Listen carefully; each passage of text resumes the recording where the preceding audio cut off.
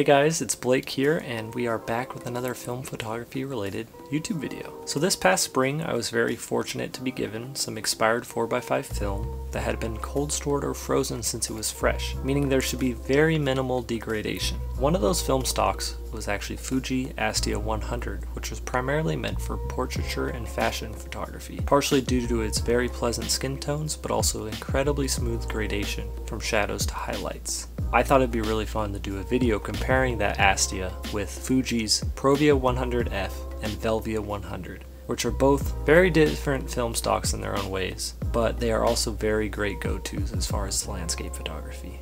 I also made sure that each of these photos were taken within a minute of each other, so the lighting is very very much the same. This video doesn't show as much of the behind the scenes, but I thought it'd be really cool to show you guys the similarities and differences and kind of things I noticed when I um, initially scanned these films. When looking at these slides, I immediately noticed how well the Astia retained both highlight detail and color. Given that slide film typically has one and a half to two stops of under or overexposure to work with, it did a great job with handling this scene. You can see a very big difference in the grass in the foreground and around the bike path.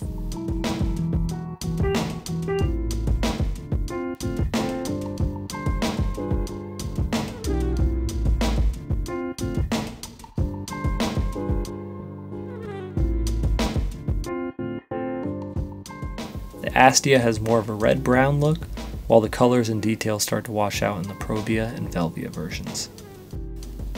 And even on the leaves of the sugar maple, there are sections where the color on the Velvia is just very vibrant, but there is not as much of a tonal separation between the reds. Whereas with the Astia, you can very clearly see the different tones in the leaves. When looking at the shadows and midtones, you can see Velvia 100 has a strong magenta cast, which is to be expected. In general, I try not to make too many large format images right on the side of the road, mostly because it's not very safe considering you're under the dark cloth, cars are driving by, but I had driven past these dogwoods a couple days in a row and knew I had to try and capture the color that was being produced. In these photos, you can see a much more red or magenta cast in both the Astia and Velvia versions, whereas the Provia is more green and yellow and does a better job at maintaining proper shadow colors.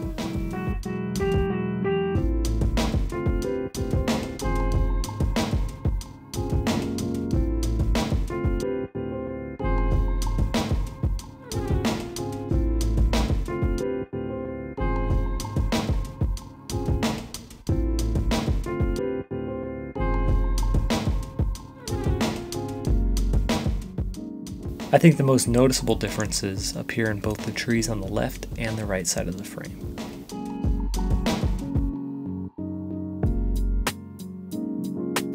Overall, I'm pretty happy with how each of the film stocks handled the scene, but I do think Astia did the best job regarding maintaining the colors and the highlights. Honestly, I had no idea how the films would react to this scene given I metered for the highlights and let the shadows fall into place.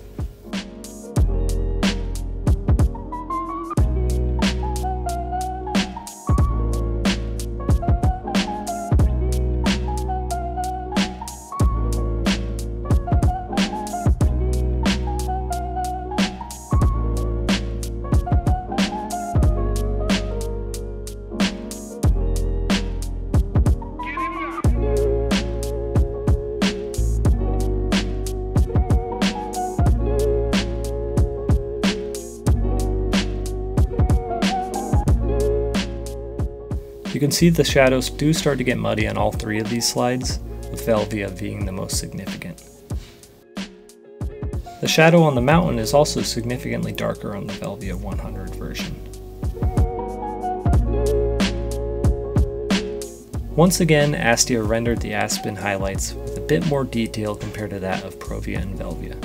But the Provia and Velvia do have more contrast, making them pop a little bit more. So for this last scene, uh, my friend Anna and I were driving back over Tioga from where we had made the photograph of the aspens, and we noticed there was a nice red color on the water. I hadn't made a photograph like this before, but I figured why not try? Well, the sun quickly went behind the cliff as I set up, so it didn't quite work as planned. A friendly reminder not to rush large format.